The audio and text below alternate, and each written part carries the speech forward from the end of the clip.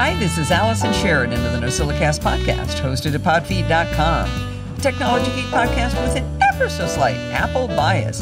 Today is Friday, December 23rd, 2022, and this is show number 920. Well, we made it to the end of 2022 without missing a show. This show is coming out a bit early as I'll be doing Christmas festivities with family on the 25th. That means there is no live show this Sunday. It also means I'm a little bit lonely, but since I'm going to be reading the I'm Still Using It contributions from so many great Nosilla castaways, I don't feel like I'm alone. Anyway, we'll be back in the saddle with the live show on January 1st, so be sure to bring your New Year's Day frivolity. Tim Chaten does a delightful show called iPad Pros, and I had the honor of being his guest for episode number 161. Now, his show is all about using the iPad for everything possible, so we dive into my uses for the iPad Pro, my pick of the Hash Photos tool for iPad OS and iOS, and we do get a little bit off topic by talking about how I use my Synology. We talk about the iPad mini and that no matter what I try to do with it, it just never seems to find a place in my workflow. Anyway, you can find Tim's iPad Pros podcast in your podcatcher of choice, or you can watch a video version of our conversation over at iPadPros.net. As I mentioned in the introduction, today we get to hear from the Nosilla castaways about the hardware and software they're still using after many years. This is actually part two of I'm Still Using It, and we have some rather extensive stories mixed in with brief moments of delight from the castaways. We'll start with Tim Jar, and here's what he has to say. I'm still using my TiVo, specifically my TiVo Roamio from circa 2014. First of all, if you haven't used a TiVo, especially if you've used some other kind of knockoff DVR, and believe me, all of the other ones are knockoffs that copied TiVo, you haven't really experienced how watching TV should be. The half hour buffer of whatever is live, the ability to record multiple channels at once, the best and easiest method for skipping forward or backwards in a program, the 30 second instant replay button, the skip commercials button, the best grid for live viewing and picking programs to record, a dead simple, even my grandfather could learn it interface for recording and playback, both individual recordings and the famous oft copied season pass for all seasons of a show. I'm sorry, for all episodes of a show. It's all genius, and basically, all of it was pioneered on TiVo, and everyone else just copied a watered down version of the same. As an added bonus, my model supports both cable TV and antenna, something that TiVo has sadly moved away from in recent years. So when I was living in rural places much of the last 10 years, I could plug in that Comcast coax cable and be set to go. And with enough pleading, I could even get them to give me a cable card and configure it. The best way to DVR.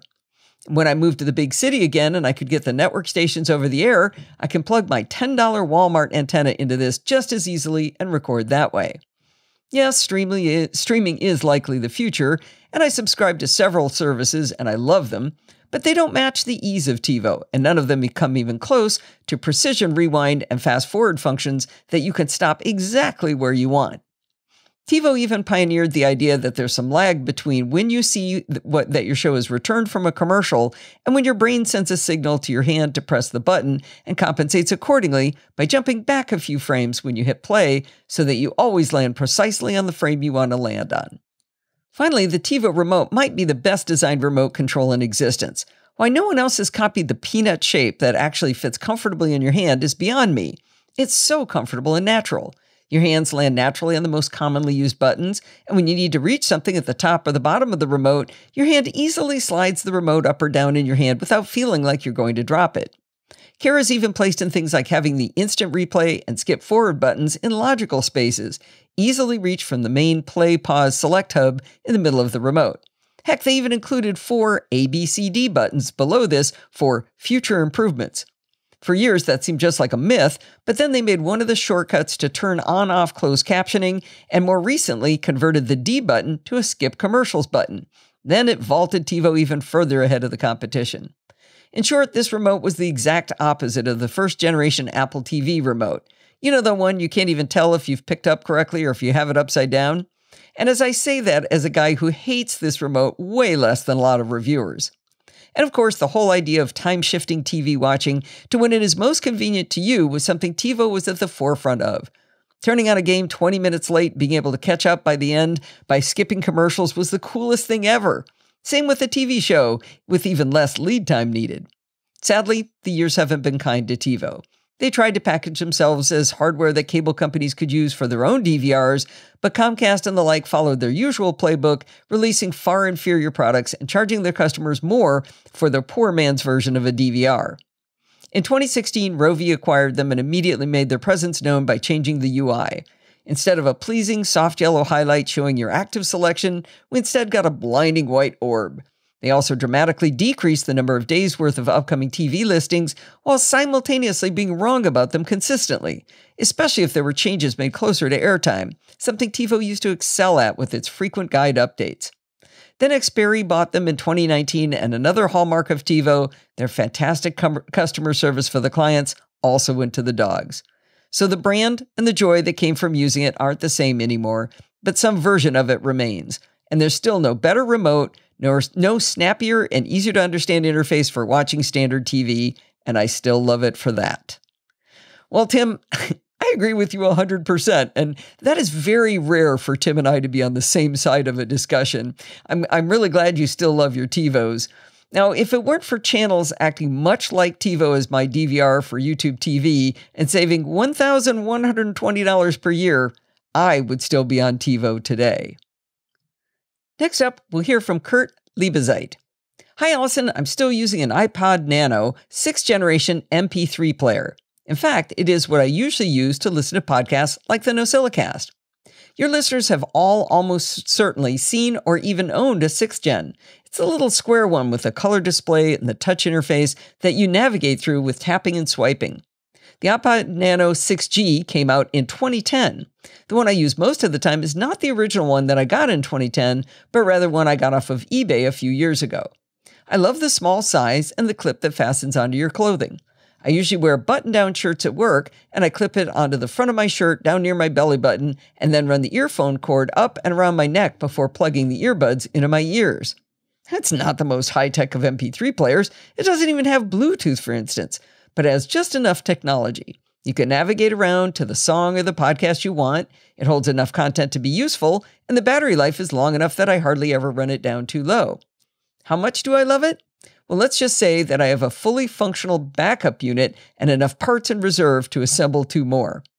My runner up candidate for I'm still using it would be my 24 inch Apple Cinema display and my 2010 Classic Mac Pro still running Monterey. I know the display is not Retina resolution, but it does just the job I need while looking darn stylish. And the Mac Pro just keeps chugging along, handling everything I throw at it. Seems like the 2010 era was a time when Apple put out some products of immense value. Wow, Kurt, you brought back a lot of memories for me with the 6th gen iPod Nano. I loved my red one. I used it for running, and of course, it was filled with podcasts and not music. I remember the first time I plugged it in and I was delighted that iTunes represented it as red. I thought that was so cool. I think I remember breaking that one and I bought another one on eBay too, and I still have it. Haven't used it in a long time, but boy, that was a great device. I also still have an Apple Cinema display chugging along, but it's not my original 24 inch. That one died 35 months into the three years of Apple Care, and Apple replaced it for free with a 27 inch. That was when I first discovered that Apple making displays that don't adjust up and down would be a problem for me. While the 24 inch was the perfect height, the 27 inch was too tall for me to comfortably see without straining my neck. It has a place in my home as the display for our M1 Mac Mini, and I love the contrast in technical years between them. So thanks for the memories, Kurt, and it's so swell to think of you listening to podcasts on that little iPod Nano. Next up is Bruce Wilson, and we get to hear from him in his own voice. When Allison first announced the I'm still using it segment, my mind immediately went to an application I've been using since 1985. That application is Emacs, which is a text editor for Unix and Linux systems. I joked in the general channel in Slack that I should write about this to start a religious war. But in reality, it's not a matter of religion for me. I'm just a curmudgeon who learned this particular text editor almost four decades ago, and many of the keystrokes are muscle memory. I'm still using it because it works. Why did I start using Emacs and wind up on that side of the Emacs VI divide? It's like a lot of things in science. It was the tool that the graduate student a year ahead of me was using. So that's the tool I started using. However, what cemented it was learning how to use keyboard macros in Emacs. I learned I could type Control X, Control Left parenthesis, then type the set of commands I needed, then type Control X, Control Right parenthesis to close the macro definition, then Control X, E to execute the macro, Control X, then a number, then the E would execute that macro that number of times. This was a great tool for massaging text files full of data, which is much of the grunt work in my graduate education. Emacs also had regular expression search and replace, which has been discussed over in Taming the Terminal. The other killer feature for me was that Emacs had rectangular cut and paste. That let me cut for example, columns 30 through 42 out of a text file, and either just delete them or move them to a different set of columns um, in the rows throughout the file. By the way, did you know that Microsoft Word will do rectangular cut and paste?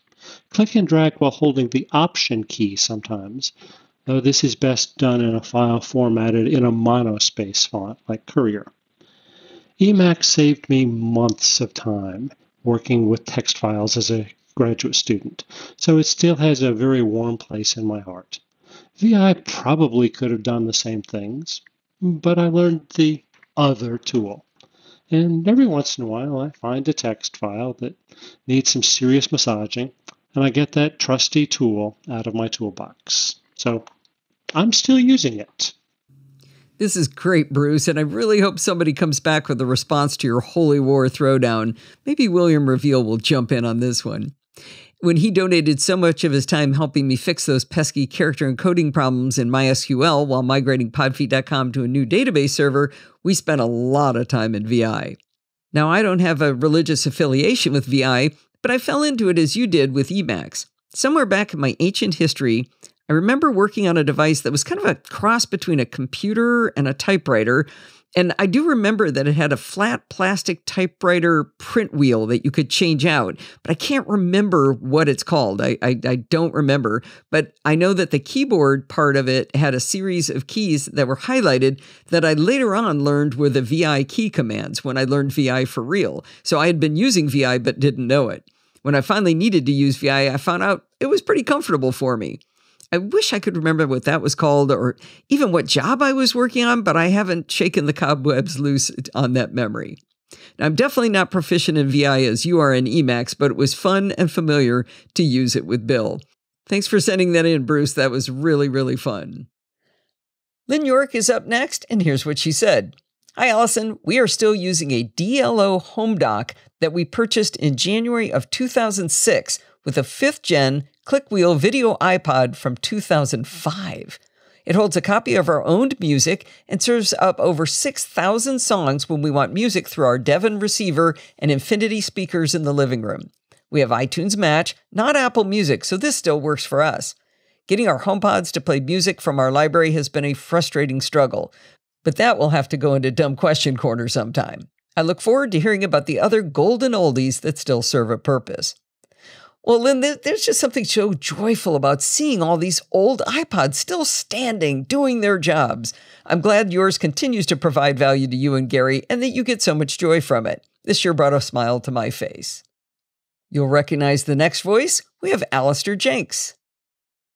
In a couple of months, I will have been using Hazel from Noodlesoft for 10 years. It has done many different jobs for me over the years, and while those jobs almost always become redundant in time, I always find new ones. I decided recently to export my entire big boy photo library of over 42,000 images into a folder of lower quality JPEGs in order to have an easily viewed catalogue should something happen to me and my family be looking through my stuff.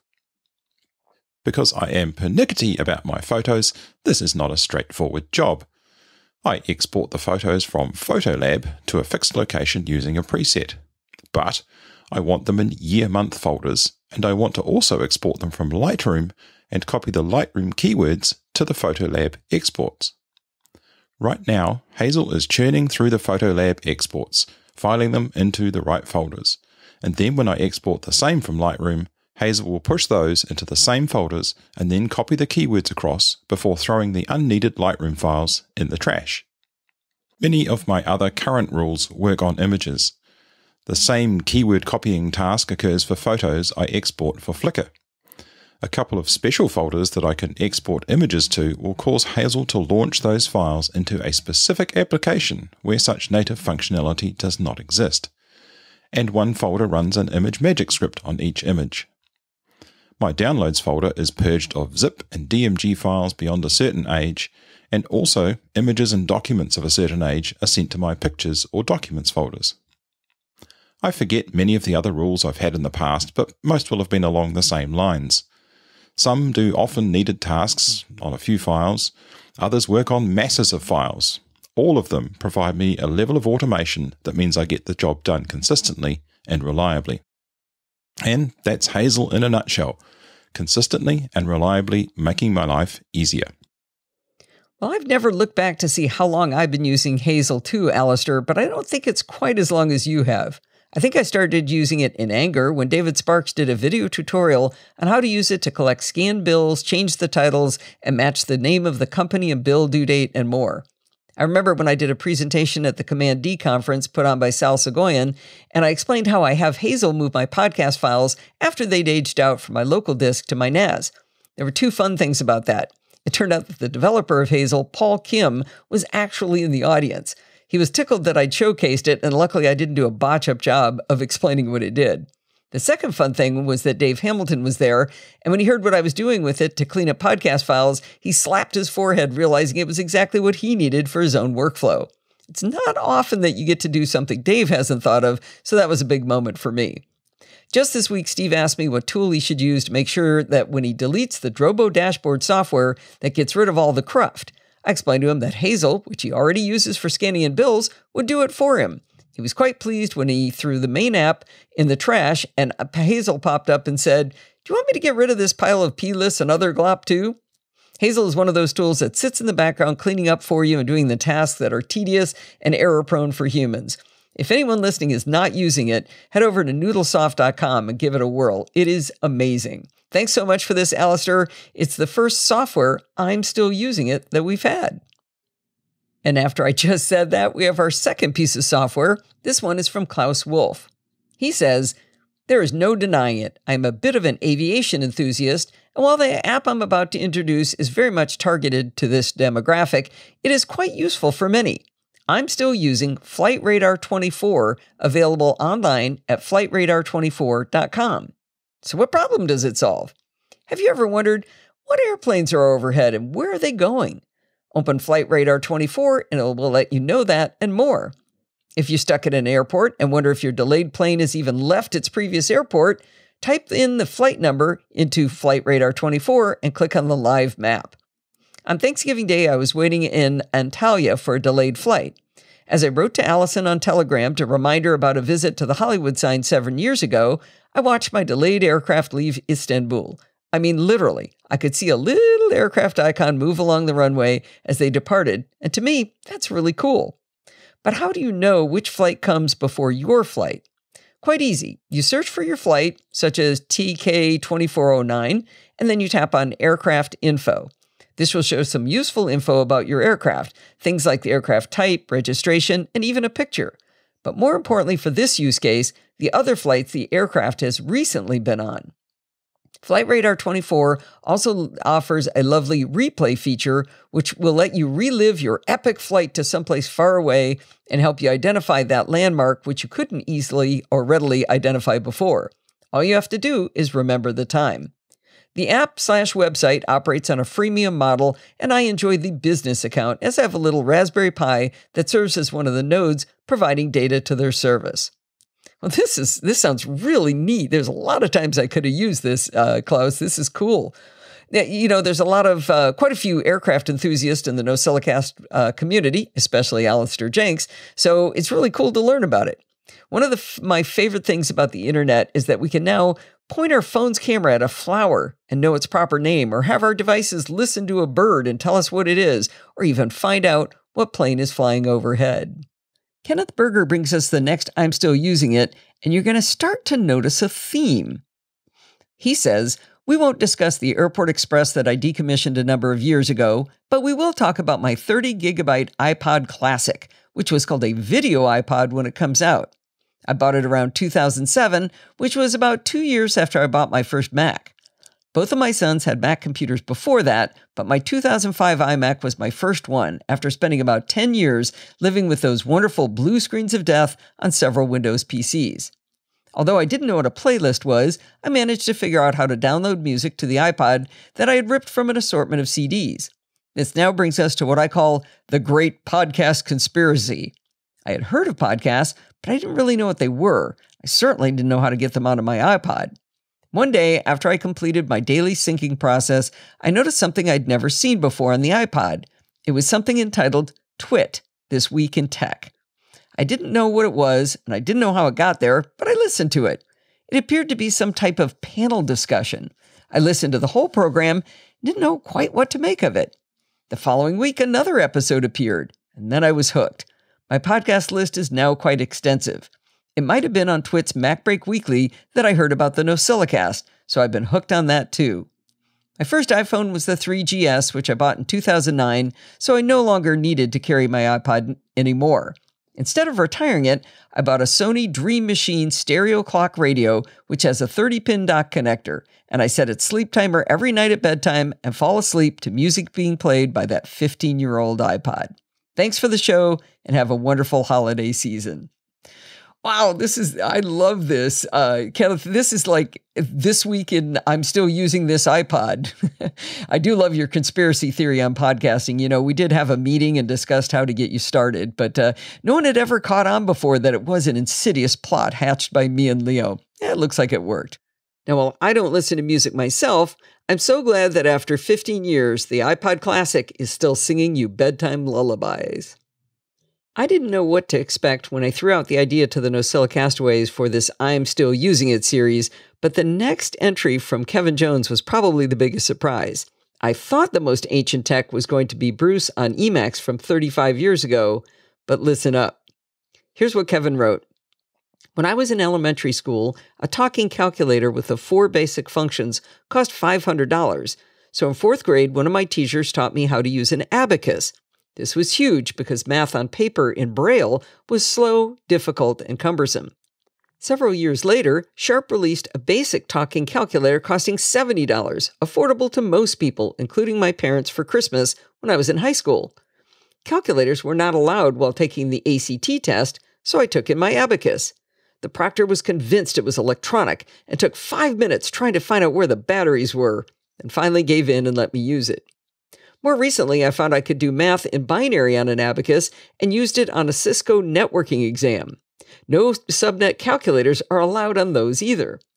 With several computers around me as I write this, I still have an abacus on my desk. It's still more efficient for me to grab it and add up a few numbers than to open up a calculator program and leave where I'm currently working. I know the abacus hasn't been updated in decades, but it still gets amazing battery. Well, no, still no batteries. When Alice asked for examples of old technology listeners were still using, I just couldn't resist. Isn't that crazy? I had no idea that an abacus could still be handy. I am absolutely adding this to my list of things I want to learn. Thanks so much for sending this in, Kevin. It was a real eye opener, if you will. Terry of Palo Alto brings us another blast from the past. He says, As a government certified old person, I'm still using some vintage technology.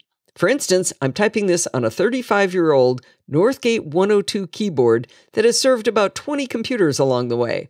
Also, I'm proud to say I still own and maintain my first car, which is a 1972 Datsun, and I play a 1952 electric guitar. These items are examples of superb engineering lasting over the years and enjoyed by lots of folks today. The car and guitar are now considered vintage and collectible, and at least Steve Gibson and I prefer the old Northgate 102 keyboard. Now let me turn to a piece of tech gear that is approaching 40 years old and is still working on a regular basis. But this time, I'll argue that it may be the last working example and that I may be the last person on the planet using one. What is it? Let's start with some clues first. It was purchased in 1983 as part of the, my first computer system, an IBM PC with two floppy drives instead of just one. About 20 years ago, it suffered a catastrophic component failure, but was fixed by a small piece of wood with a DIY repair. I use it on a monthly basis, and it would be hard to replace it with modern technology. So, what 1980s technology could survive 40 years and still be uniquely useful? Give up? Well, is it is a Brother HR15 daisy wheel printer. In 1983, I was working at the Stanford Accelerator Center and was the third person to venture out and purchase a personal computer.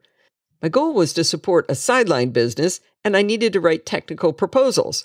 The computer was just to run a word processor, and I got a daisy wheel printer instead of a dot matrix so that my pro- proposals would look more formal. In those days, Brother made traditional typewriters, and the engineers simply made the HR 15 by removing the keyboard on the front and installing an LPT port on the back. All was good writing proposals, but as business needs grew, my attention turned to managing inventory and finances. In those days, there was not much commercial software available outside of Lotus and a few word processors. I heard there was something called DBase, which had no useful user interface but could be programmed to make your own. So, propelled by my intrinsic laziness, I started automating all of the typical business processes like inventory management and financial control. The best part is that I could design my own user interface and get things done with the absolute minimum number of key presses. It didn't take long to include printing checks in my chain of laziness. With one screen entry, I could capture the expense, print the check, log it in a searchable database, update account balances, and print out a year end report for the accountant. Thus began my long relationship with this printer. My DBase programs have evolved over the years, and they still manage all of my financial records. The HR 15 still prints checks every month. But sadly, about 20 years ago, it could no longer print. The printer used a hard rubber cylinder as the hammer that struck the daisy wheel, and over years it cracked and fell off. There didn't seem to be any prospect to get replacement parts, so I just gambled and made an identical shape out of an oak dowel. I installed the oak striker and has been working fine ever since. And so is the story of the venerable Brother HR 15 still pounding on after all of these years. Well, this is epic, Terry. I went out and found the Daisy Wheel printer in the Computer History Museum. I put a link to it in the show notes. I love the part about the, how you made a replacement part with an oak dowel. That is simply awesome. My father would have done that. I love it. Now, you also solved a, a mystery for me. Remember what I said about learning VI in response to Bruce and Emacs? I said that I used a device that was kind of a cross between a computer and a typewriter. And I do remember that it had a flat plastic typewriter print wheel that you could change out. Guess what that was? It was a daisy wheel printer. I am so happy that you solved this for me. Now, if you could help me remember what I was using that was driving the printer at the time that actually had VI written on the keyboard, that's the other piece of the puzzle I need to know. We have four more I'm still using it segments, and they're just as great as the ones you've heard.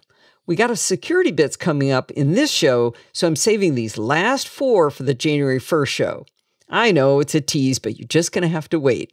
The I'm Still Using It segments you just heard are piled into two long blog posts, but in the audio, you should also find chapter marks to each person's contribution with a link to one of those two blog posts. Thank you so much to all of the contributors. I loved all of these segments. For this week's pledge break, as Frank likes to call it, my request is that you have a safe and happy holiday.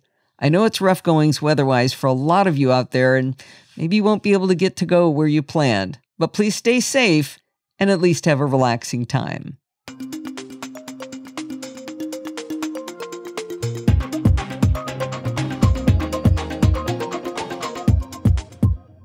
Well, it's that time of the week again. It is time for the last security bits of 2022. How are you doing today, Bart?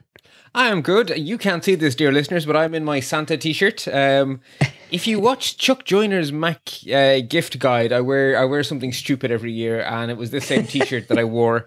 Uh, but that was recorded a month and a bit ago, so I have laundered it since. and we have a little Christmas tree icon to make the security bits look a little more friendly, right? Yay! Yeah, we do actually. I'll put it in the show notes. I was just in that kind of a mood today. Uh, what can I say? Uh, and my one bit of home kit is working again. I can walk into the house, and when I shout "Jingle Bells," all the Christmas lights go on, and when I shout "Humbug," they all go off. Um, Perfect. And the third one, when I shout "Neighborhood Cheer," just the ones outside go on, but the ones inside oh. go off. So when I'm leaving the house, I shout "Neighborhood Cheer," and then I leave. Oh, that's perfect. yeah, I thought so. Anyway, um, security stuff. Security stuff. Um, some follow-ups to start the ball rolling. Um, Apple have released to United States customers their opt-in advanced data protection for iCloud. If you live in the US, if you have only the very, very latest devices, and if you are brave enough, you may turn it on. I don't have the option. If I did, I wouldn't. because you want everybody else to go first. Yeah. It's this is one of those cases where what's most likely to hit you? Are you most likely to need Apple's help to recover your vital family pictures, or are you more likely to end up the victim of some sort of state sponsored attack? If you're the CEO of Intel, or a politician, or a journalist, yeah, turn it on. But you know, for the rest of us, maybe just sit back and let the first round go. Maybe just Okay. let some people be the beta Yeah. testers on this one. I think so. Well, so you and I both don't have the option of going because we have uh, spare devices that are uh, a little a little longer in the tooth, and so we can't go. So we didn't even have to make the decision. Yeah. If you're still in, if you're still thinking of going for it, uh, there's another article linked in the show notes from Apple Insider. Uh, they're basically pointing out that there are Apple devices without screens, which become much more complicated to set up out of the box for a while Oh, because they may have shipped with, from Apple's factory with an older version of iOS. But they're now arriving for Christmas, and if you've just enabled this feature, you then have a chicken and egg problem where you may have to use someone else's Apple ID to get the device patched, and then switch it You over know- to your Apple. Yeah, oh, yikes! I, that is an interesting conundrum. So if you get a uh, Mac Studio or Mac Mini, doesn't have a display. It particularly the well, the, I mean, you would have a display, but in that it's the HomePod in particular that's a tricky one. Oh, the HomePods are in the game too. Yeah, they need to be on the. Oh, okay, I see what you're saying. Yeah. Oh, they're all wow. fed into your iCloud, right? They they get your calendar and all that kind of stuff, and yeah, they're all fully integrated. So they all need to be updated too. So, like I say, this is an early adopters game, and unless you're game for being that, just sit back, sit back. You know, it's only America, it's only in beta. Well, it's, I think it's officially out of beta, but just don't don't rush in. Similarly, if you really are a beta person, if you're actually running actual beta software, iOS 16.3 beta has been released because 16.2 went public. And uh, you can now, if you like, use a physical security token with your Apple ID uh, if you are Oh. beta. So that was another one Okay. the features announced. Um, the other shoe that's been hanging in the air that we have known we would learn more is LastPass. So when last we left this story, they had released an initial report to say we were rehacked using information taken in last summer's hack. Uh, we now know a little bit more detail. It was basically a successful spear phishing attack against an engineer based on Okay. information taken in the previous attack, which allowed them to construct a very Oh. well focused attack against the engineer. So it was And- it really was a second attack? Yes, it Okay. really was the second wave of the same attack. If one, yeah, you know, they're related but not the same, I guess. But yeah, definitely related. And they got quite a lot of stuff actually. So the biggest danger, so the takeaway if you're a LastPass user is that you need to be really, really, really aware of the possibility of very convincing phishing attacks because the attackers were able to get the customer database. So they have your email address, they have potentially your phone number, they also have your IP addresses you regularly use, which could really be used to construct a very convincing address. Like we usually see you connecting from, you know, one two three dot four five six, but now we've seen you from blah, blah, blah, blah. is this you? Like that could really that could feed into making a very believable fish. Interesting. Okay. The I, I, I'm not sure they would. If you think about most users, wouldn't have any idea what their IP address is. I would. I wouldn't know what mine is. Okay. I never looked uh, at the it. Second, this because uh, maybe the IP address is less important. They have your email address. They know whether you usually use a Mac or a PC because again they have your regular usage data, right? So they have enough to say that we normally see you from Safari and Windows, and now we've seen you, you know. Or even they could even say we know you're normally in Ireland and we've seen you from Jamaica, right? The IP address could be Yeah. used in all Yeah, yeah, yeah. ways. Um, I, I, I wonder whether there'll be. That's interesting. I, I think that it's likely that they would do that, but on the other hand, my experience with most of these uh, attacks when they they do a broad swath of people is they aren't particular. They send Mac users or somebody on an iPad. They send them a picture that's a uh, that's a Windows screenshot that's got the X in the in the upper right, you know, and so they don't they don't seem to tailor per user. It depends on the data set the bad guys have available to them and the competence of the bad guys. If the bad guys have a data set that tells them, well, the finesse that they choose to use, yeah, yeah, yeah. Really I mean, they certainly have the ability to do it. Yeah, and it depends on the value of you, right? And they mm-hmm. may be able to tell the value of you. Like your email address may give away that you work for Intel or that you work for. You know, your yeah. email address could give away a lot, right? That could really yeah. help target yeah. you down. Um, the other thing is, so the secrets in people's vaults were not compromised, but the actual encrypted vaults were leaked this time. So the bad guys have the encrypted vaults. The encrypted vaults are obviously protected by your your one password, which is not called your one password, but you know what I mean, right? Your your master. Your, it's called your last password. It's called your last password. Okay. Uh, if you followed LastPass's rules, uh, LastPass have laid out their full algorithm. They had already laid it out before, but they have reiterated their full algorithm. If you had followed the rules and used a 12 character password, it really will take the age of the universe to crack your account. So you really are fine. But if you ignored all of their advice and you set yourself a weak password, you mm. now need to go change all of your passwords everywhere because those encrypted vaults are very high value. They are going to be so the the encrypted vault, as downloaded at the time, is protected with the password you had at the time. So changing Correct. your password now doesn't do you any good.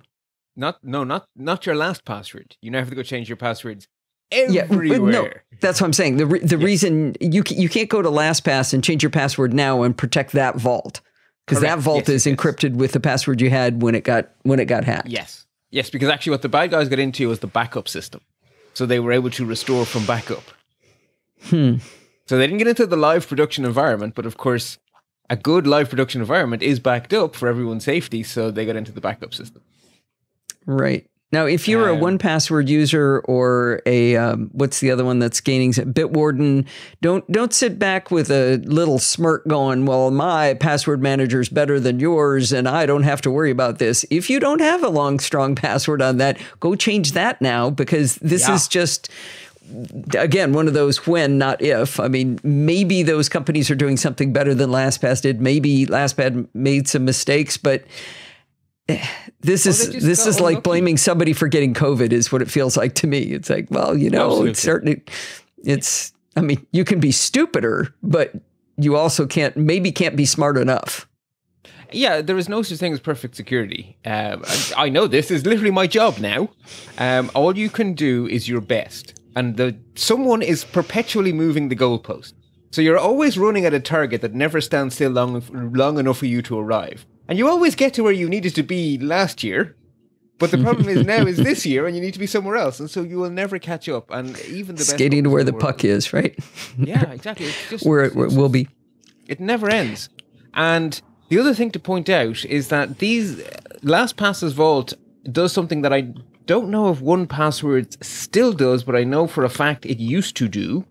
So there are plain text pieces of information in your LastPass vault because that allows the browser to search for which passwords are available for it to fill.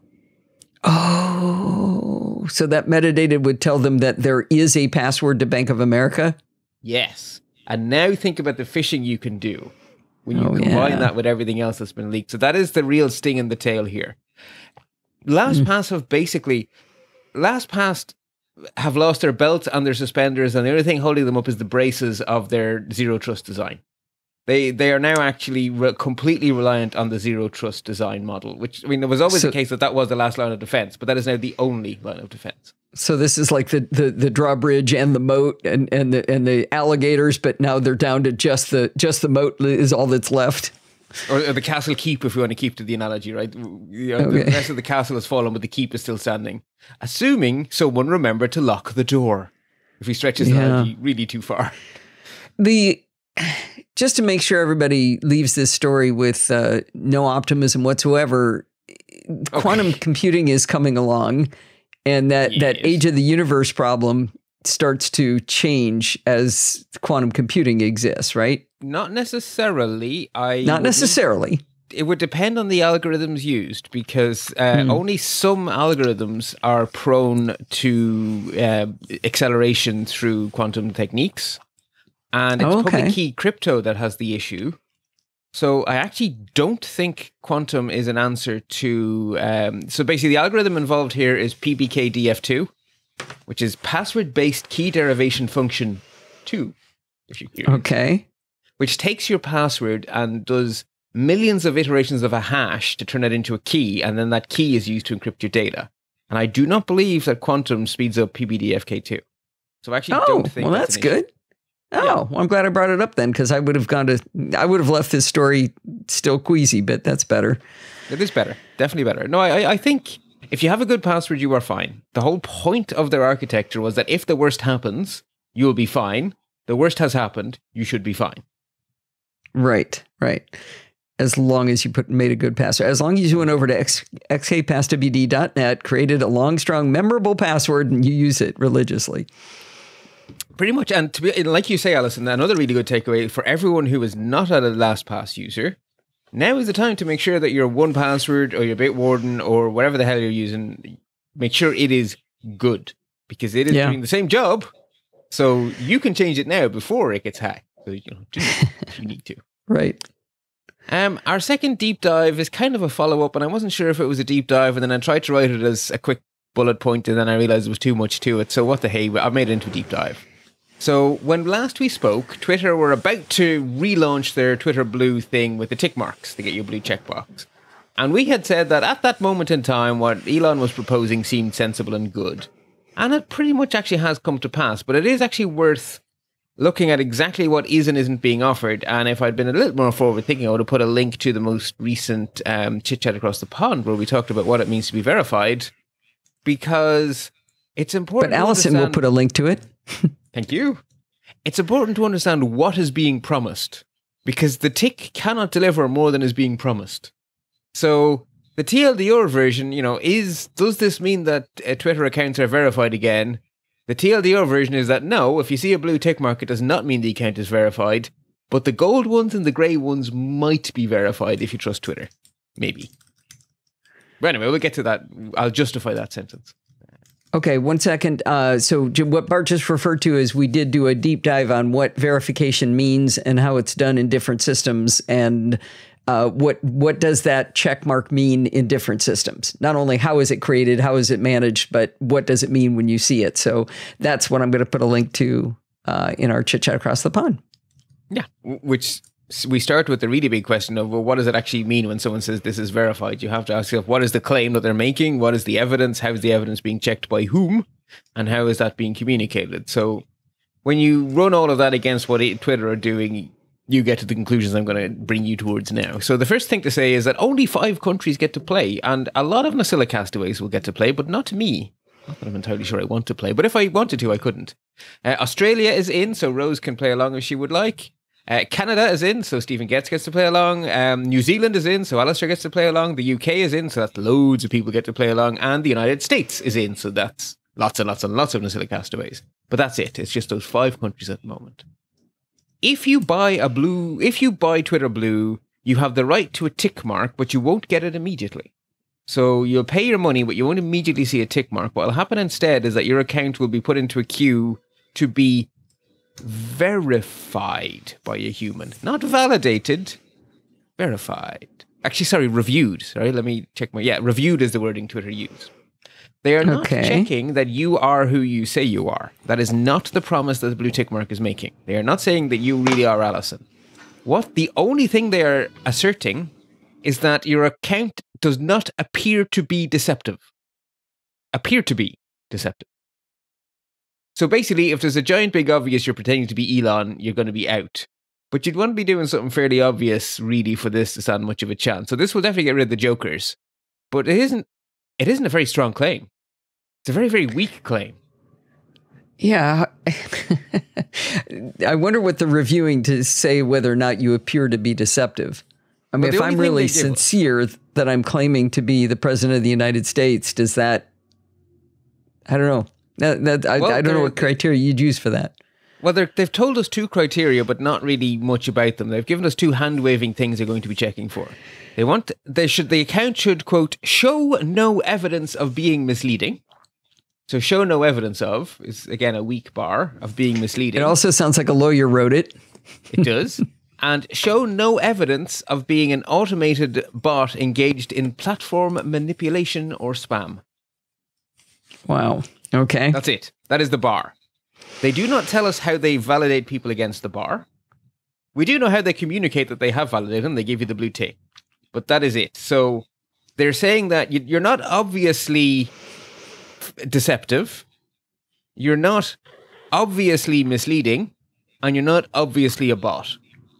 Other than that, that's it. That is the sum total of what the It- blue tick mark means. It kind of sounds like the old validation, except the other one, the original one was uh, also, and you're maybe kind of famous.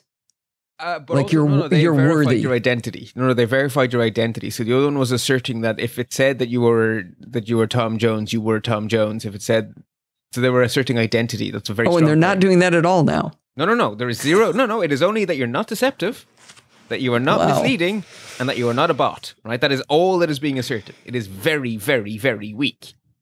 They are not telling us how they are doing this review.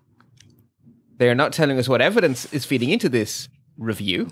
So the only things we know is the claim and how it's being communicated. It's being communicated with the blue tick, and the claim is just that very weak thing I've said. Everything in the middle is missing. So from our four things we need to understand, two of them are completely missing. So it's basically trust us.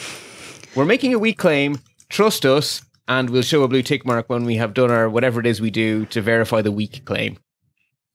So, you know, it's uh, that's what it is. So Okay. not that strong. Now, maybe there is some strong validation happening all the same on the platform because they also announced two other programs. So they also announced a, they're calling it a test, not a beta, they're calling it a test for a corporate version of Twitter Blue. And these will be, they use the word verified, and these verified companies will get a gold tick mark. Now, the verification is probably in the form of we got a check and it had the company's name on it, is probably how that verification is done. I'm guessing there's money changing hands and that helps make all this easier. But they are claiming verification of these corporate identities, but they're not explaining how whatsoever what these companies have to do. They're just saying that you can apply here, and that's kind of it. So Really? I don't know. That not even the corporations. They're they're not telling us what they're doing for that. Nope. I read the full docs. There, there is a paragraph. It says that companies can get a gold, verified companies can get a gold tick mark. Okay. Thank you. Wow. Uh, okay. Even even more fuzzy is that people vaguely remotely connected with government of any form anywhere can get a grey tick mark. And they again say that they will be verified as being, I think it's gov- government agencies, government offices, government employees, official spokespeople, elected representatives, the staff of elected representatives. Like the criteria is very, very, very, very broad. Uh, But they do use the word verified. But again, there's nothing between this is what we're claiming and this is how we're showing it by having the grey tick mark. So how they're verifying any of this is completely up in the air. And they also say local and national government. So if I run for office in the local town council here in Maynooth, I theoretically am entitled to a grey check mark. How would they even verify that there is a town council in Maynooth? Let alone that I'm on it. wow. So I don't know how much stock to put in either of those two tick marks. I think all we can do is wait, and if they screw up, we'll know. There will be much Yeah. finger pointing and laughing, and then we will know. And you know um, people are going to try, right? That is the one thing we can be guaranteed of. This will be tested, so we shall see. But I would not be in the market for gambling on whether this will be a success or not. Um, So in uh, in other news on the whole uh, checkmark verified thing, the or the I'm sorry, paying the paying the fee to be verified. Uh, you know that Elon has been taking polls to make decisions, policy decisions. In fact, one of the polls was, "Should I uh, step down as CEO?" And uh, 17 million people voted, which is I was too a lot more than he has followers. And uh, they said he should step down. But after that, someone said, Why are you letting people who are not verified have a vote? You should only let people who pay vote. And he said, Okay, we just made that policy change. So you can only vote in his little polls on policy if you pay him money. I, in the abstract, I actually don't think it's a bad idea that people with a stake are the people who get to make the decision. Yeah. Just in the case of this particular clown show, I'm not sure I, uh, it, it helps. Yeah, you know, I really thought I was on Mastodon as just a, you know, give me a fun place to play until Twitter comes back to its senses. But uh, I don't know. Do you, do It's know not feeling good. this week. There's another there's another real breath of fresh air to Mastodon that I hadn't appreciated until now that I've been there a while. There's no algorithm. You just see the stuff in the order it happens. There is no one trying to make you outraged. You know, I miss that whole outrage because I always use Tweetbot, which just shows you Ah. chronological. So I- I've never seen an ad on Twitter, and I've never, except for when somebody sends me a link and it opens in a browser, then I'll see it. But I never see the the forced order algorithm nonsense. So I've been insulated from that. Okay, so for you this is new. For me, this is a whole new experience. Um, Oh, that's I- I- it gets better and better, right? it really does. Yeah, it, I was like, oh my god, now I remember why this is better. This is like old Twitter. This is like how it used to. Yeah. It really it really does feel like Twitter to me, except without the creepy. Yeah. So Less anyway, there we go, folks. There we go, folks. That oh, here's the state of here's yet another reason Okay. Mastodon's good. When somebody posts something, they can put a CW in it that is a content warning, and it hides it. So if I'm reading my feed and I'm reading somebody that I really like, that, that you know they post funny things or they post astronomy, but then suddenly they want to rage at the government, they could just put a CW on it, and people do. And so, and you can use it for spoilers of movies, things like that. So I see a fair number of CWs, and I just don't click them usually because I don't Yeah, want to be outraged. You know, if just to make it clear to people, the CW, you as a person get to to describe what it is you're hiding, right? So you can say, Yeah, I don't always. You get to give it a title, don't you? I Maybe, you give it maybe. Yeah, it's like movie spoiler or politics rant or yeah. Yeah. It, so it requires the politeness of people to do it, but they do it. And the, again, you're only seeing content for people you choose to follow. So if people Right. fail to or abuse the system, well, just unfollow them, right? Because there's Yeah. no algorithm shoving anything at you that you haven't asked for. So you're Mm-hmm. kind of in full control. I just love the idea that you get this blank box and the person who wrote the post gets to decide how to describe what it is they're not showing. So it's just, if you want to be polite, they've given you all of the tools to be nice. Yeah, yeah. It's good. Okay, so on to regular business then. Action alerts. It has been busy since last we spoke. Uh, Patch Tuesday has been and gone.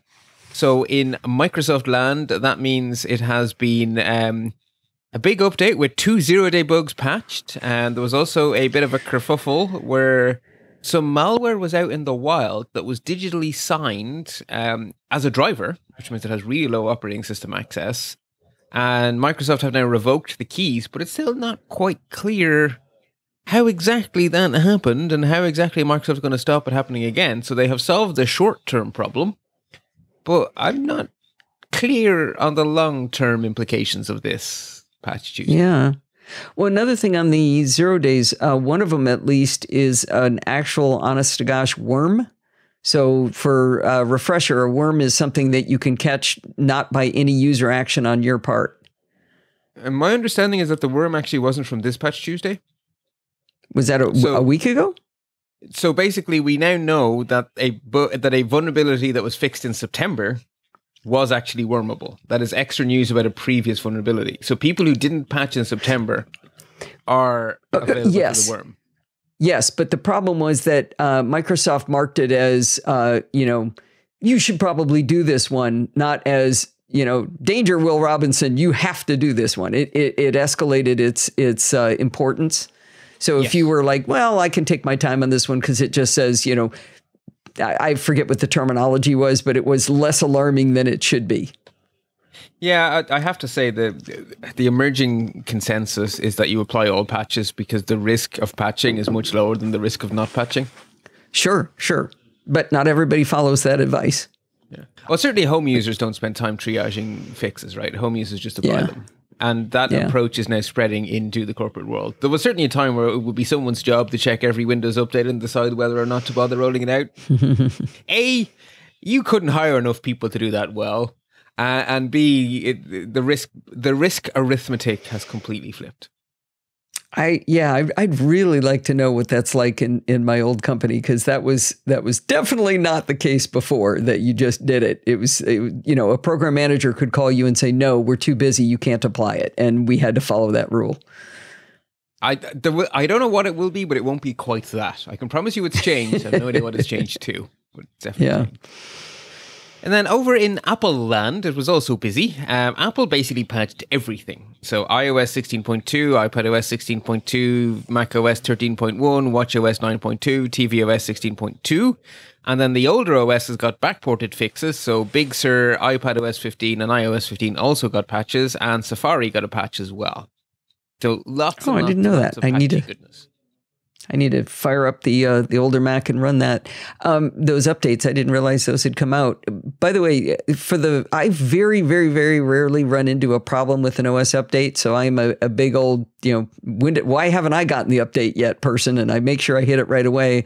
But uh, last week's show, Bart and I were uh, struggling a little bit with the audio because the uh, macOS 13.1 update broke all of the Rogue Amoeba apps. It broke uh, Audio Hijack and uh, SoundSource and Loopback and the ACE component. It was it was all broken, but it is all fixed now. So uh, there was. It was basically whack a mole trying to figure out where the audio had gone and trying to get it into the right pipe. And we, we eventually got there, but it was, we lost about 45 minutes trying to get my audio to Bart. I don't even remember where we ended up in the end, but we we, we did do. I think it worked. about. Yeah, Oh, we recorded, we recorded it three ways. we recorded it three ways. Oh yeah, we we went into into Zoom and then we went into uh, uh, Streamyard and then I think we ended up back in Zoom in the end. I think we did, and um, I think was Skype effort in the mix. Either way, we hit the We record discussed button it. in the meeting. We hit the record button on my end, and we hit the record button on your end, and we, you know, belt suspenders and braces. We did get there, but yeah, that was interesting. Yeah. Yeah. Um, also, in very similar news to the Microsoft news, we have also learned that an older update to Apple's stuff also patched a bug in the past, which has now been revealed in detail. So the bug was discovered by Microsoft and it was responsibly disclosed to Apple, who patched the bug. And now that the bug is patched, Microsoft have released the details. So that's all as it should be. But The it's back Microsoft- from macOS 11 and 12. So that's Yes. Big Sur and Monterey. Interesting. But they just kind of wanted to say, hey, look what we found.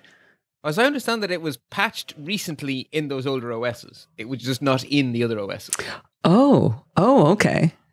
So it, just just for extra confusion, it never affected iOS and doesn't seem to have affected 13, uh, but it it's a recent a recent fix in the older OSs.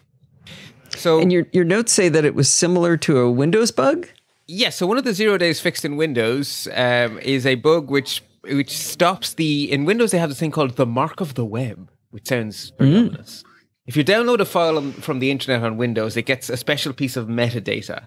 And if you try to run that file, Windows will pop up a warning that says, "Whoa, ooga, ooga, you downloaded this from the internet. Are you sure you want to run this file?" And so that stops a drive-by download from running automatically.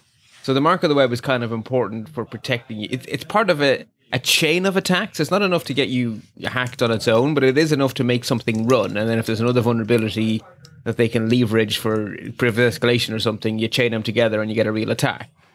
So the mark of the web is important, and there was a, a logic flaw in how the mark of the web was being applied. So it was possible to bypass the mark of the web. Huh. Okay. Apple have something really similar called Gatekeeper, which is supposed Right, to do things like not let you run software that isn't properly signed. Mm-hmm. Uh, and uh, there was a logic problem, and it meant that it was possible to craft an executable that it wouldn't flag up the usual warning of this is from an untrusted developer. Therefore, it could be used as part of an attack chain when chained together Oh. Right. with another vulnerability. Dot, dot, dot, dot, dot, dot, right? It's basically the same thing. It's not a catastrophe because for most of my life we didn't have any such a concept as signed software. But it is it it is nice that Apple give us these extra protections over what we used to have, and so having the extra protection disappear is not nothing, but it's not the sky is falling. Right? It, it's it's a medium severity Good. The Okay. Microsoft engineers had a sense of humor, and they named their blog post "The Achilles Heel of Mac OS," and the media didn't bother with the facts or the details. Why would They they? went with the most hyperventilating headlines about this major fundamental Mac flaw, and if we weren't patched, you were doomed. And I just really enjoyed reading the Naked Security article going, yeah, we thought we'd miss something, but we've reread everything. there's very, very little here apart from a cool name. But that does seem to be enough to get the headlines going. So if you heard Well, something about Microsoft Achilles just- Microsoft just poked Apple in the eye for whatever reason. Well, the thing is, if you read the actual blog post, it's not even hyperventilating. It's just they went with too clever a title. Right. Well, that's what I mean by poking them in the eye. They didn't need to do that. They could have come off as as the uh, the the good the good hats and looked like heroes, but they had to poke them in the eye to get it. Oh well. I guess. I guess. I don't know. I think it was just someone with a sense of humor. But anyway, if you heard something about the, the Mac being doomed, no, it wasn't. And anyway, Okay. patchy, patchy, patch, patch, and you're all good. It was Good, It was good, a post facto release of it, something that's already fixed, which is the way I like it. That's responsible disclosure. We like that. Mhm. Moving on then to our our worthy warning section. This is the bad news bit of the show. Because why would I warn you about something nice? so the first bit of news we have is that Epic have managed to set another record. They have paid the biggest fine for quote, or not quote, for the, the way it was described uh, by the Vox.com headline. Epic Games has to pay $520 million for tricking kids and violating their privacy. They used dark patterns to trick people into in app purchases and they violated COPPA. And COPPA is the Child Online Protection Privacy- something Privacy and Protection, Act, something like that. Yeah. Sure we got that So. I don't put this one in the bad news category. They did it. They got caught. They paid five hundred twenty million dollars. We knew they Fair. did it before, right? Did we? I, I, I guess I've, I haven't had a particularly good opinion of that company for some time, but I think being that Fortnite was one of the most popular games on planet Earth ever, and that was targeted at kids, this is this is ick. Well, I guess Well, you're okay, right. I'll, yeah, we'll They give you caught. that. But the good news is they they're caught, and that's a, that's a huge fine. That is one of the biggest. The biggest so far, yeah, of its time. Wow, good. Yeah, record setting. Epic, epic win there, guys. Anyway. Um, meanwhile, Equifax, that uh, story that doesn't stop giving, the settlement is being paid out at the moment. So there are legitimate emails going out to people affected by the Equifax breach with their share, allowing them to claim their share of the money. For most people, it works out like $5 is the way these things always This is the breach where they lost all of the Social Security numbers, uh, like eight years ago. Your credit score for basically all of America, yeah. But yeah, not just our credit score; it had our Social Security numbers in it. that was why uh, that that's the one. that's Oh, the yeah, one I really care about. Yeah. Every, every Um, possible piece. Yeah, so assuming you you you you did the paperwork to claim your share of the money, you should now be getting an email helping you claim your share of the money. At the Hmm. moment, the emails going around are legitimate, but Brian Krebs has pointed out quite rightly that it is probably a matter of hours until the scammers start to fake these emails. So he has written a blog post describing how you verify that the email you got is the real one and that you are not being tr- not being yet again, you know, violated while trying to get your compensation for having been violated. So if you're going to do the Equifax thing, read Brian Krebs's article. It will help you, you know, navigate those rocky shores. They should have made them send paper mail to pay fifty cents a a, a paper mail. Yeah, but think of the trees. Think of the environment. Yeah, there's that. Um, and then another thing, a, a definitely this falls in the worthy warning category. So Naked Security are reminding people, and they have basically Naked Security do this thing where they get spam emails and they click on all the links to see what happens, and then they take screenshots so we don't have to. Basically, we click on them so you don't Oh. have to. Is their theory? uh, and it's a timely reminder that the bad guys will fake anything, right? So a trend at the moment is fake. We have noticed a suspicious login email. So that is put immediately making you think that this is the good guys trying to help you. Oh, we've noticed someone tried to log into your Facebook account from Paris. Was that you? Mhm. Only it's a fake one of those emails, and they go through the whole step. So remember, even emails pretending to be alerting you to a security problem could actually be fake and could in fact be a security problem. And the way you always start is by typing the URL into the address bar and never clicking on a link in an email ever, ever, ever, ever, ever. Right, right, right, right. The uh, I, I uh, a friend of mine just got hacked for the third time. Third time he fell for a scammer, and uh, I was I have great sympathy the first time. I have some sympathy the second time, but the third time. Well, the first time it happened, it was he's got a PC, and he and he told me after it was done that it was okay because he had someone clean everything up for him. and when I talked to his wife after the third time, I said, I said, yeah, you know, back when that happened, I remember telling him there's no way to actually clean it up. You have to burn it to the ground and start over. And he didn't, and I don't doubt he has yet. So for all I know, they've still got a keylogger around there, and there'll be a fourth time. Okay. I told her to get him an iPad. Don't Yeah. let him use a PC. Absolutely. If you do not need the power of an operate of a completely open operating system that can do anything, don't run an operating system that can do anything because it's probably doing things you don't want it to do. Yeah. Yeah, it's, it's they, they are basically they are now specialist devices that unless you know what you're doing, you should not be using a general purpose computer. That's Yeah. they- Yeah, that's an interesting. they're a power point. tool. They're a power tool. Yeah. You don't wear don't wear the glass. you don't wear the appropriate goggles to stop your eyes getting destroyed. Bad things will happen. Um, notable news then. Um, TikTok appear to have done an Uber is the best way I can describe it. So Uber would abuse the fact that they had location data for people to notice when government regulators were trying to watch them and I think they they called it I think they called the system blackball just to, to really be as un PC as they could possibly be. Um, well, TikTok have been caught using the location data from the TikTok platform to watch Forbes journalists to try to figure out when a Forbes journalist and a TikTok employee came into contact because that way the TikTok employee was a leaker. Oh. So they're utterly abusing, utterly abusing the information they have access to for their own personal reasons. The obvious argument being that they could do this on behalf of, they could do this if the Chinese government told them to as well, which is also true. But in this case, it really is corporate malfeasance. I was just instantly reminded of Uber, not of Yeah. nation state stuff. This is just Yeah, that's corporate they were using misgovernance. location data from the cars. Yeah, yeah. So anyway, it's ick. It's just not the ick I was expecting. Uh, Yeah. And all the, all the details are reported by um, the, the, the, the ah the journalists themselves from Forbes. Right. Yeah, that's interesting. So they figured it out that it was happening to themselves. Yep, yep. Huh. Um, Pwn2Own has been and gone. Fifty-three things got hacked with sixty-three bugs, and there was a million dollars given out in bounties, which sounds really cool. I can also tell you that no one successfully hacked the iPhone, uh, Pixel phones, any of the major smart speakers. No one got into a HomePod. No one got into an Alexa. Nothing like that.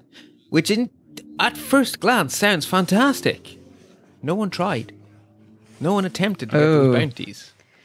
So that means one of two things. Either no one had an exploit they were prepared to stand up on stage with and embarrass themselves because they weren't confident they could actually exploit the devices, which is the sunny side of the coin. That, yeah, that's the rose colored glasses view. The other is that the black market for these bugs is more lucrative than Pwn2Own. And hmm. therefore, it's just not worth revealing the bugs at the Pwn2Own conference. but we don't know. We do not know. We do not know. We do not know. So the Pwn2Own was once one of the most important things in security. I fear this is evidence that it isn't the driving force it once was. Because there was a time when the prestige of winning Pwn2Own was enough to make you because like the prices for Pwn2Own could never compete with the black market. They never could. But it was such a prestigious conference, people did it anyway. We seem to have left that world. Oh, here's a delusional, uh, optimistic point of view. What if the uh, bounties that uh, Apple and Google are giving on their phones uh, were worth it, and that's why they didn't do it at Pwn2Own? That could have happened, is right? plausible.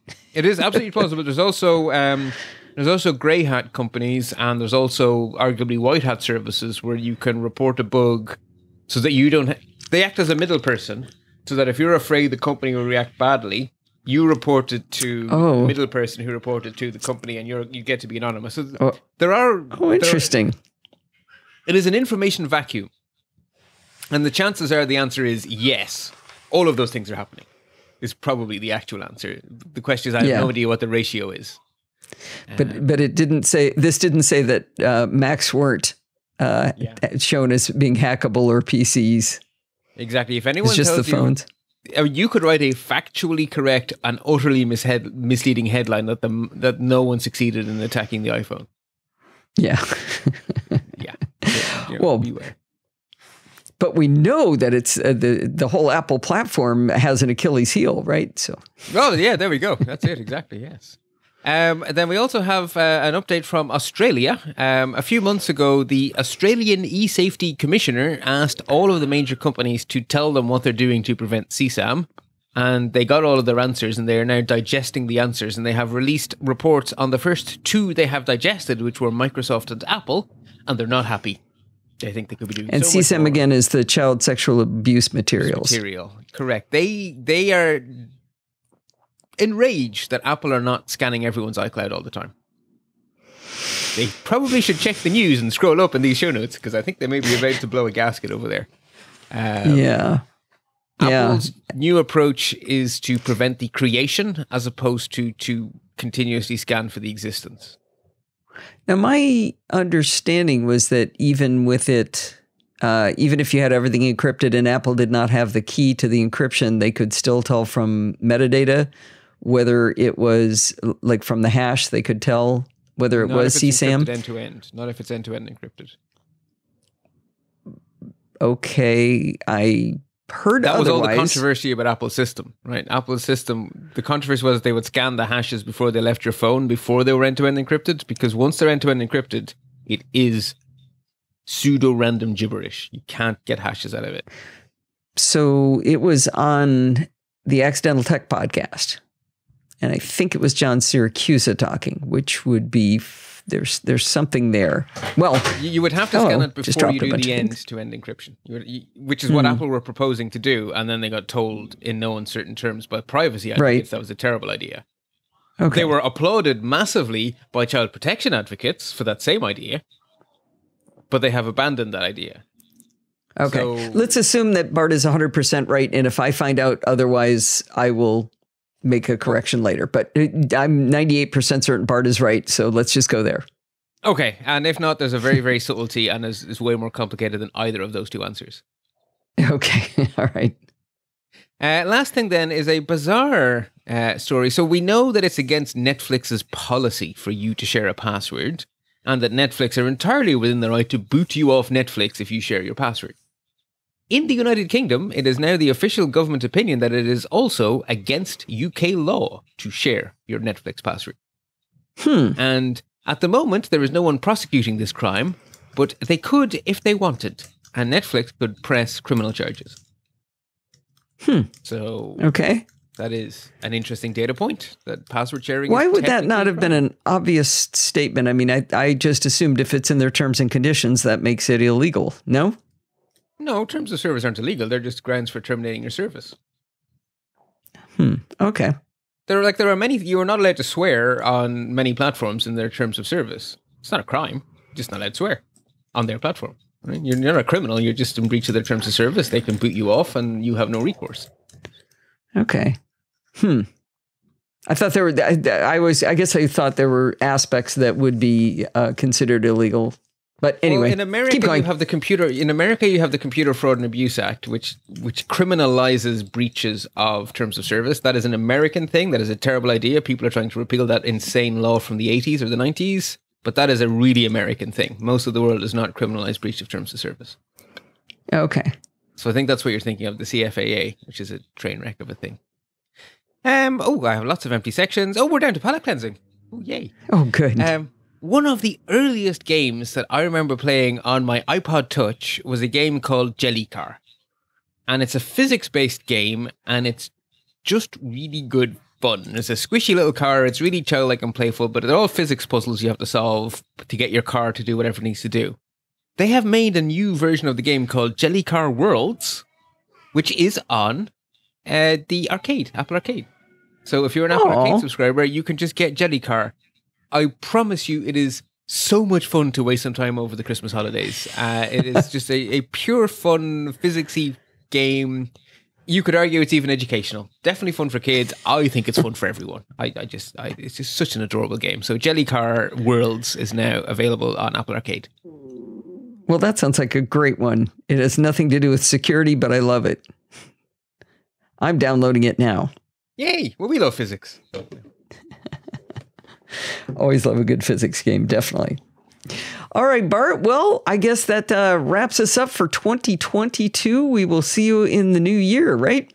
we will. I will talk to you next year, and let us hope there's no security issues between for the whole rest of the year. It'll be fine for the whole rest of the year. Uh, but seriously, though, uh, you know, when you get all of your new tech, do remember to patch it so that you stay safe. And uh, above all, just have a good time, enjoy your family, do fun things, and you know, start 2023 all relaxed and uh, revitalized. So uh, until we chat again, I'm gonna, I'm gonna, I'm gonna cheat on this one. I'm gonna wish everyone happy computing. Well, that is going to wind up the last NosillaCast for 2022. I hope you had fun along with us. Did you know you can email me anytime you like at allison at podfeet.com?